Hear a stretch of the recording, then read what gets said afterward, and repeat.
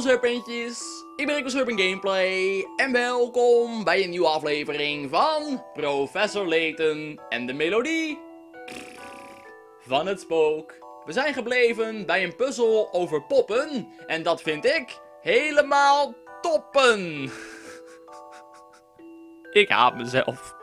Je ziet hier vier poppen. Je zou het op het eerste gezicht niet zeggen, maar een van deze poppen, A, B en C, vertoont sterke gelijkenis met de pop uiterst links. Welk van de drie poppen is dat? Nou, als je even kijkt naar de pop links en de andere drie poppen, zie je dat ze helemaal niet op elkaar lijken. En heeft deze puzzel dus twee uitwerkingen. 1. Je gokt gewoon tussen A, B en C. Een redelijk goede strategie. Of oplossing 2, je maakt een soort extra geheime denkstap, waardoor je opeens wel het antwoord hebt. Die denkstap werkt als volgt. Je neemt een pop en zet hem op de kop. Als jij pop A, B en C op de kop zet, dan gaat die hele jurk zo binnenste buiten. En zien ze er opeens heel anders uit. Je moet dus ook even bedenken dat deze poppen een soort geheim hoofd zo tussen hun benen hebben. Dat is normaal. Wat is eigenlijk gebeurd als je op de kop zet, is de benen veranderen in armen. Dus je wil eigenlijk, om witte armen te krijgen, sowieso een pop met witte benen. Dus B valt af. Een beetje racistisch, zo op beenkleur. Maar zo werkt het nou eenmaal. Dan is de vraag, hebben we te maken met pop A of pop C? Ze hebben allebei een stukje groen in hun jurk. En je wil een jurk creëren met een heel klein laagje groen dat er zo, zo, eh, zo onderuit komt. Hier is het groene stuk korter dan het witte stuk. Dus als je hem binnenste buiten vouwt, dan is de hele buitenkant wit. Of welke kleur dat ook is. Deze heeft een heel kort groen stukje dat er nog uitsteekt. Als je binnenste buiten vouwt, zie je als het goed is zo een klein laagje groen. Ik zet al mijn geld op C. Deze puzzel was niet makkelijk. Nou, ja. Hij was niet per se makkelijk. Een echte heer kraakt elke puzzel. Juist, pop C. En dan ja, weer een heel verhaal met wat je precies al wist. Want we hebben dit zojuist helemaal uitlopen te leggen te doen. Specia eigenlijk is dat antwoord er meer voor. Stel je hebt gegokt, heb je alsnog een antwoord voor waarom wat je gokte zo goed was. Deze poppen zijn van u? Ja, ze zijn me erg dierbaar, dus ik heb ze gegrepen en ben het hotel uitgerend. Maar hoe heb ik mijn baas nou achter kunnen laten? Ik had hem mee moeten slepen. Ik kan moeilijk geloven dat het spook Great Alley Street zou aanvallen. Ik hoop maar dat Joe niets overkomt. Dat was die eh, eigenaar van het hotel waar we dus eerder waren. Joey Boy. Oké dan, gebeurt hier allemaal? Miauw. hey, een kat. Hier, poes. Miauw. Wat een gekke kat. Hij heeft een halsband, dus hij moet een baasje hebben. Laten we hem vangen. Hé, hey, deze kat is van iemand. Nu niet meer. Oh, dat is echt kut als je gewoon in de buurt katten van mensen vangt en ze dan vermoordt. Dat moet je niet doen. Dikke tip. Oh, wacht, Luke, stop. Nou ja. En ik dacht nog wel dat Luke te oud was om, om dieren achterna te rennen over straat. Hahaha. hij lijkt misschien volwassen, Emmy. Maar hij is natuurlijk een kind. Wij zullen onze leeftijd even moeten vergeten. Kom op, hij is richting het westen gegaan. Super zieke achtervolging. Getting some pussy. Zo flauw. Jeetje, de kat is echt snel. Haha, daar ben je. Ik was al bang dat, je, dat je kwijt waren. Waar is die kat nou heen? Hé, hey, daar is hij. Professor, houd hem tegen. Haha, het komt wel goed, Emmy. We draven wel een beetje achter hem aan. Met u samenwerken is ook nooit saai, professor. Nou, we waren bezig met een spook vangen. Nu rennen we achter een kat aan. Het is maar net wat je spannend noemt. Maar hey, sure. Hier, poes, poes, poes. Die zijn we echt kwijt. Wat een rappe kat. Waar is die kat nou toch heen? Waarschijnlijk woont hij hier ergens in de buurt. Laten we verder gaan. Wat een anticlimax van een verhaallijn, zeg. Echt een hele erge anticlimax. Even praten met deze man. Dat was nog eens, dat was nog, dat was nog eens een heuvel. Kennelijk kennen we die heer niet. Laten we een praatje met hem maken. Wat een groen pracht! Overal om me heen! Meer groen dan ik aan kan! Eh, meneer, gaat het? En of het gaat! Groen hier, groen daar! Het is een groene explosie van genot! Dit is een goede dance move. Groen! Lingo! Groen! Hij is echt heel blij. De bewoners van dit dorp zijn behoorlijk levendig. Ik, als je me vraagt hoe ik over het milieu denk. Groen! Fun fact, de NS-treinen in Nederland rijden momenteel volledig op windenergie. In mijn hoofd zie ik dan echt treinen met zeilen erop, of windmolens erop, maar zo werkt dat dan weer niet. Ze rijden elektrisch en dan weer op wind, windenergie. Het zijn geen stoomlocomotieven, jammer genoeg. Dit ziet eruit als een onderzoekslab. Klopt dat, Luke? Geen idee, ik ben hier nog nooit geweest. Is de kat hier naar binnen gegaan? Daar komen we zo achter. We gaan gewoon even lekker naar binnen stormen. Ja, we zagen een kat die niet van ons is. Toen dachten we, we rennen erachteraan. En ja, we kwamen hier uit, dus dat is heel normaal. Nou, geen, uh, geen kat hier te bekennen in ieder geval. Kijk eens, wat een groot aquarium. Ja, een tand grote vis. Zoals we dat in het Nederlands zo mooi zeggen. Ik weet niet wat dit is, laten we maar vanaf blijven. Het is ook voor het eerst dat Emmy wat wijsheid uitgooit. Oh nee. Hallo en welkom bij het Centrum voor Waterfauna. Wat kan ik voor jullie doen? Oh, hallo. Uh, we zoeken een kat. Hij is deze kant op gegaan. Is die soms van u? Sorry, we houden hier geen katten. We hebben wel katvissen, maar je weet wel... Maar ik weet wel welke kat je bedoelt. Ik kan het je wel vertellen. Maar ik zou je eerst met deze puzzel willen helpen. Liever niet. Moet het? Bonje in het aquarium. In het aquarium zijn er vier soorten kieskeurige vissen rond. De oranje vissen kunnen niet met de gele opschieten. En de gele verdragen de blauwe niet. De blauwe hebben een hekel aan de paarse en de paarse kunnen de oranje niet uitstaan. Tot overmaat van ramp hebben alle vissen een hekel aan andere vissen van dezelfde kleur. Allemaal racisme dit weer. Plaats tussenschoten door lijnen te trekken tussen de inkepingen langs de rand van het aquarium. Kun jij met vier schoten de vissen in paren verdelen en weer rust in de tent brengen? Dit echt een kutpuzzel. Ik haat puzzels waar je shit moet verdelen. Dan ga je eerst even schouw maar openen en kijken wat we wel weten. Een heleboel vissen kunnen dus niet bij elkaar. We moeten denk ik vooral afleiden welke vissen wel bij elkaar kunnen. Oranje vissen kunnen niet met de gele opschieten. En de gele verdragen de blauwe niet. Dus oranje. Oranje uh, plus blauw. Oranje kan wel met blauw. Dat is fijn om te weten. En blauw kan ook met oranje. Zo werkt dat dan weer. Met de gele opschieten. En de gele verdragen de blauwe niet. Geel verdraagt blauw niet. En blauw verdraagt waarschijnlijk dan ook geel weer niet. Maar de gele, de oranje kunnen niet met de gele opschieten. Niet met de gele opschieten. En de gele verdragen de blauwe niet. De blauwe hebben een hekel aan de paarse. Dus de paarse en de gele kunnen ook weer bij elkaar. Dan heb ik geen paars. Paars en geel kunnen ook bij elkaar in ieder geval. Is even paars. Paars. En dan plus, ja, geel heb ik ook niet. Ah, groen. dus je hebt nu eigenlijk de twee paren die sowieso wel bij elkaar kunnen. En dan kun je waarschijnlijk vanaf daar een beetje gaan verdelen. Uh, wat kon er nou... Uh, oranje plus blauw kon en... en, en ik heb echt geen idee. Deze twee moeten voor mij gescheiden worden, toch? Daar moet een muur tussen. Dus je moet eigenlijk sowieso... Dit is eigenlijk de enige manier waarop je ze kan scheiden. Dit is denk ik zo'n muur. Dus dit is sowieso de eerste muur die je hebt. Puur vanuit deze twee bitches moeten gescheiden worden. Uh, we kunnen nog een keer een, een, een, duo van deze... Ja, dan scheid je deze ook heel mooi. Dat is wel fijn. Oranje en paars, die kunnen bij elkaar, toch? Misschien? Anders moet hier ook nog een muur tussen. Dat kun je haast niet doen. Weet je wat? Fuck it. www.google.nl Professor Layton Last Spectre 19. Je kan iedere puzzel gewoon googlen als je echt wil. Ik heb echt geen zin in deze bullshit. Oké, ik heb hem gevonden. Ik zie de eerste lijn. Dat is de lijn die we hadden. Dat is fijn. Dan heb je hier nog een lijn. Dat is nog wel een logische lijn. Hij snijdt precies geen vissen dood. Dat is nog wel fijn. Uh, het is eigenlijk gewoon een soort...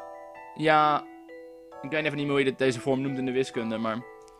Je moet voornamelijk een beetje dit doen. Uh, deze moet hier, ja. En dan, ja, misschien zie je het al, moet hier ook nog een, iets zoiets. Doe ik dit nu goed? Nee, hij moet hierin. Dit zou het antwoord moeten zijn. Had ik vast na urenlang soort van nadenken op kunnen komen. Ik had al een van de vier lijnen. Misschien dat je bij de hint zo nog wat lijnen had kunnen krijgen, maar het duurt allemaal lang, joh. Geslaagd! Ik haat puzzels waar je dingen in vakjes moet verdelen. Heb je gewoon echt teringhekel aan. Iedere keer als iets verandert, moet je weer vijf andere dingen veranderen. En dan blijf je bezig. Kunt, kunt u ons nu vertellen waar de kat naartoe is gegaan? Natuurlijk, de kat die je zag woont in een vreemd huisje, diep in het bos. Hij komt hier vaak langs om naar de vissen te kijken, die we hier onderzoeken. U onderzoekt vissen? Miss Tellery barst van de unieke vissoorten. Dit centrum is opgericht om die zeldzame soorten in hun eigen leefgebied te observeren. We hebben pas nog een nieuwe soort ontdekt. We kunnen wel wat hulp gebruiken bij het onderzoek. Nou, ik ga niet nog meer puzzels voor je doen, dame. Oh jeetje, wilt u, wilt u dat we vissen onderzoeken? Ik weet niet of we daar wel tijd... Ik wil u wel helpen, mevrouw. Ah, een echte dierenliefhebber. Ik vermoed dat de vis jou ook heel leuk gaat vinden. Maar hij heeft nog geen naam. Kun je, kun je er een voor hem verzinnen? Oh, krijg een nieuw huisdier. Blubber, ik noem hem Blubber. Trouwens, ik ben ook een vissenbioloog. We hadden ooit een opdracht voor biologie. eh, Waar we naar Artis gingen. En dan moesten we een stuk schrijven over een dier. Hoe je ze, aqua, hoe je ze, hoe je ze leefgebied. Wij hadden maar de wolf. We moesten dus naar de wolven toekijken in de dierentuin. En dan zeggen, oké, misschien als we dit plaatsen, dan is de wolf fijner. En je moest de wolf vooral observeren. Van oké, dit is wat de wolf doet, dit is wat de wolf doet, dit is wat de wolf doet. En ik had echt een supergoed plan geschreven en zo allemaal ingeleverd. En ik had me die dag verslapen. Dus ik had de bus gemist naar Artis. Toen wilde ik nog met de trein komen. Zeiden ze ja. En toen was ik misschien 15. Was ik, ja, je bent nog niet zelfstandig genoeg om hierheen te komen reizen. Ga maar terug. Heb ik helemaal een kaartje gekocht. En het was een, nog met de automaat en niet met een OV. Ik zei, oh, ik gooi het kaartje wel weg. Ah, yes. Auw. En toen kreeg ik een nieuwe opdracht. Moest ik regenboogvissen. Of in ieder geval een soort raar soort visje observeren en kijken wat hij doet. Had ik dat helemaal ingeleverd, kreeg ik een fucking 2. What the fuck, school? Nou ja, dat is ver achter ons. Ik heb VWO biologie gewoon gehaald. Eh, vissen zijn, zijn bekeken door mij. We hebben deze soort nog maar net ontdekt. Dus er zijn veel dingen die we nog niet weten. Speel er maar eens mee. Hopelijk ontdek je nog iets nieuws. Nou, hij smaakt heerlijk. Dus we gingen op zoek naar een kat en we vonden een vis. Hoorde je dat, Emmy? De kat woont in een huisje diep in het bos. Laten we gaan. Ik wil eigenlijk gewoon verder met het spook. Maar hey, dit is een eh, alternatieve manier om mijn tijd echt supergoed door te brengen. Ik vind het prachtig dit. Luke, volgens Marion woont de kat in een huisje hier verderop. Oké, kom, kom op dan. De kat wacht. De kat wacht de krullen van de trap. De kat krabt de krullen van de trap. De kat krabt de krullen van de trap. De kat krabt de krullen van de trap. Dat ging nog best goed. Ik had verwacht dat het helemaal verkeerd zou gaan. Waarschijnlijk ging het ook verkeerd, maar hoorde ik het gewoon niet. Hij is heel erg gehecht geraakt aan die kat.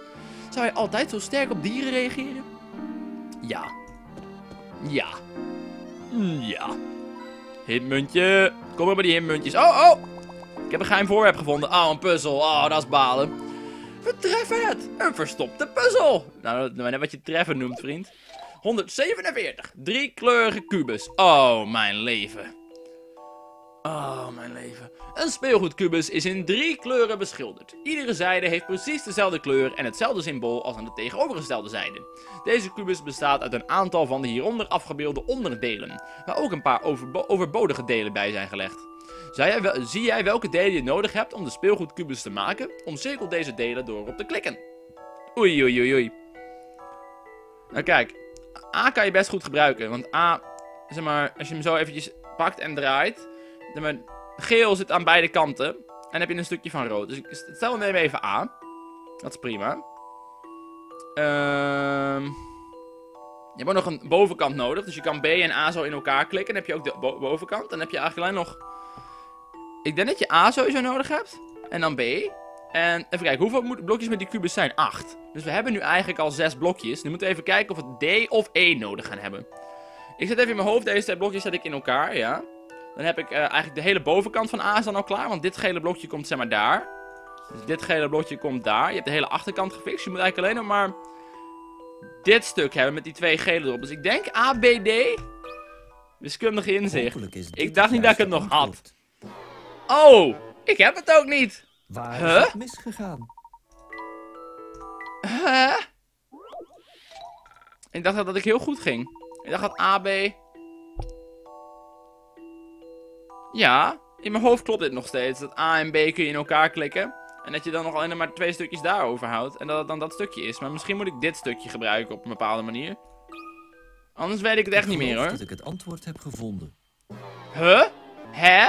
Huh? Hè? Laten we er nog eens zorgvuldig naar kijken. Wat? Ik weet pittig zeker dat het kan. Stop mijn pickarots afpakken. Het waren er zoveel. Nou. Sowieso dat je A en B in elkaar kan flansen. En dan gewoon een zo'n stukje ervoor kan zetten. En dan ben je klaar. Of klopt dit stukje gewoon in het algemeen niet met de wetten van hoe we willen dat het in elkaar zit? Oh ja, als je dit daarin klikt. Dan staat dit deel naar binnen. Dus dat deel kun je niet gebruiken. Dus dan is waarschijnlijk die drie. Ik was even een beetje aan het vergeten dat de blokjes ook niet helemaal mee willen werken. Oké, laat maar. Laat maar leven maar. Blijkbaar heb ik iets over het hoofd gezien. www.ing.com slash wiki slash professor streepje leden streepje en streepje en de streepje last streepje specter streepje slash puzzel laag streepje nummer punt laag streepje 019. Wat dacht je van laag streepje 0? Dat is ook weer 147. Ik kan gewoon de link aanpassen en dan... Oh, een cuppuzzel zeg. En waarschijnlijk is het dan iets met eh stuk We kunnen gewoon letterlijk alle opties gaan proberen die we nu nog hebben. Maar daar heb ik ook niet heel veel zin in. Het antwoord is A, C en E. Dat is zo dichtbij. We hadden al bijna alle opties kunnen proberen. Je hebt sowieso twee van die drie blokken nodig. En één van de twee blokken. Ja, wat de fuck is dit nou weer, Leighton? Motherfucker. Nou, ik had even iets makkelijker nagedacht en toen bleef ik een beetje daarin hangen. Sorry. Mijn ruimtelijk wiskunde inzichtschip bestaat niet meer. Vernietigd. Kijk eens aan. Weer een puzzel opgelost. Yes. Dit, dit huis is heel raar. Ben je nu ineens een angsthaas? Het kan toch zeker niet enger zijn dan een reuzenspook, of wel soms? Nee, vast niet. Nou, kom op dan. Ah, Emmy! Oh nee, wat ik in dit huisje vond? Een oude vrouw. Wie zou hier nou willen wonen? Hulp nodig om verloren puzzels te vinden? Hier woont de beeldschone en helderziende oma Riddleton. Wat bedoelt u met helderziend? Ik wist dat je, dat je dat zou vragen. ik ben gespecialiseerd in puzzels. Puzzels om later op te lossen. En puzzels die niet eens zijn gevonden. Al die arme, eenzame puzzeltjes worden verzameld door mij. De beeldschone en helderziende oma Riddleton. Wacht, dus u verzamelt alle puzzels die we over het hoofd zien? Wauw, indrukwekkend hoor. ik wist wel dat je zou inzien hoe nuttig ik ben. Omdat u helderziend bent, zeker? Dus als we een puzzel zijn vergeten, hoeven we alleen maar hier naartoe te komen. Zo is het, tenminste, als ik niet net op vakantie ging. Ik ging naar het strand, zo behoud ik mijn jeugdige gloed, begrijp je? Wacht even, wat moeten we doen als we een puzzel zoeken terwijl u lekker op het strand ligt? Dus iedere game, voor mij de eerste game zit ze erin. In de tweede game is, uh, die hebben we gespeeld, dat is uh, Doos van Pandora. De tweede game, dan heb je alleen het huisje volgens mij. In de derde game, dan is het opeens een bij die het overneemt. En als het goed is nu, neemt de kat het over. Puzzelkatje, kindje, toch geen zorgen. Oma heeft overal aan gedacht. Mijn kat, Keat, zal jullie helpen. Cat, miauw. Oh, dus deze kat is van u. Later heb je ook nog een keer uh, puzzelientje. Het dochtertje, of het kleindochter van oma Riddleton. En ik weet niet, in een van de latere, in of Asran of uh, Miracle Mask heb je ook nog een keer iemand anders. Of het is twee keer puzzelientje. Een of ander achtjarig kind, lachen man. Als je een puzzel zoekt, tik je gewoon op Keat hier. Hij is graag buiten, dus je zult hem vaak genoeg tegenkomen. Helaas kan hij niet blijven. Die vakantie heeft me dringend nodig. Toedeledokie! Zieke shit. En daar gaat ze dan. Ik ga snel de professor en Luke op de hoogte stellen. Daar ben je, Emmy. Je liet ons zomaar in de steek. Rustig maar, Luke. Ik heb ontdekt dat die kat Keats ons kan helpen vergeten puzzels te vinden. Werkelijk, wat een hoogst eigenaardige kat. Zijn vaardigheden zullen ons ongetwijfeld nog goed van pas komen. Dankjewel, Keat. Heb je nog puzzels voor me, vriend? Miauw, miauw. Er zijn momenteel geen puzzels. Ah, in mijn leven. Ik kan even een beetje rondklikken van muntekes, maar behalve dat... Oh! Hey, je hebt een nieuw voorwerp gevonden. Weggegooide fles. Dat zijn echt het soort voorwerpen dat ik het liefst vind. Deze zak zit vol met... Iets? Oh, Emmy. Dankjewel voor jouw beschrijving van deze zak. Waarom heeft zo'n een kat zo'n kast nou in zijn huis? Nou, omdat die vrouw hier woont, zeg maar. Maar ze is op vakantie en zo. Ik moet even op vakantie, ouwe. Zit er veel te vaak aan de drugs. Ik moet even op vakantie, ouwe. Chill hem veel te vaak met je zus.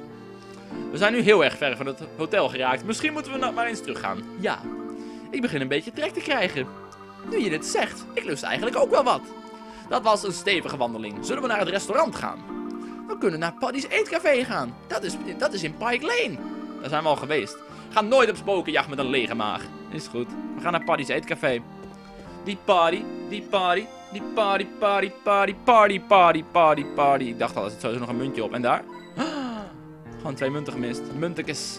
Oké okay, dan. We zijn al bij het eetcafé geweest, maar de game doet even alsof we nooit geweest zijn. Hé hey daar, daar bent u weer. Oh, daar bent u. Ik dacht dat u bij de grote brug stond. Grote brug? Ik sta bij elke brug. Zie je boten? Dan zie je Bucky. Ik ben de kanalenman. Ik vervoer al meer dan 10 jaar mensen over de kanalen. Ruik je boten? Dan ruik je Bucky. Gadverdamme, Bucky. Ik zal het onthouden. Mijn boten ga je, met, mijn, met mijn boten ga je nooit de boot in. Wat? Wat is dat? Huh? Bucky.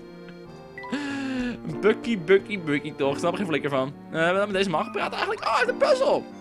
hey, jullie zaten net toch achter een kat aan? Toen ik jullie zo zag, moest ik, eens, moest ik een derde puzzel denken. Een puzzel, een puzzel, zegt u. Ik ben benieuwd. Perfecte moment om de video uh, af te sluiten, denk ik. Een beroemd schilder heeft in opdracht van een welgestelde en excentrieke kattenliefhebber dit kunstwerk gemaakt. Het schilderij is getiteld De wereld door de ogen van een kat. En de kunstenaar heeft voor de grap een aantal katachtige figuren in het schilderij verstopt, die na enig speurwerk wel zijn te ontdekken. Weet jij hoeveel katten er in totaal in zijn verstopt in dit schilderij? veel. Nou even kijken voor deze aflevering. Doe even een duimpje omhoog. En dan uh, gaan we volgende aflevering bij deze puzzel lekker verder met Professor Layton. En de melodie van het spook. Nou ja, even kijken. Doe een duimpje omhoog als je hem leuk vond. En dan zie ik jou weldra weer terug op het internet. Nou ja, even kijken. Doei!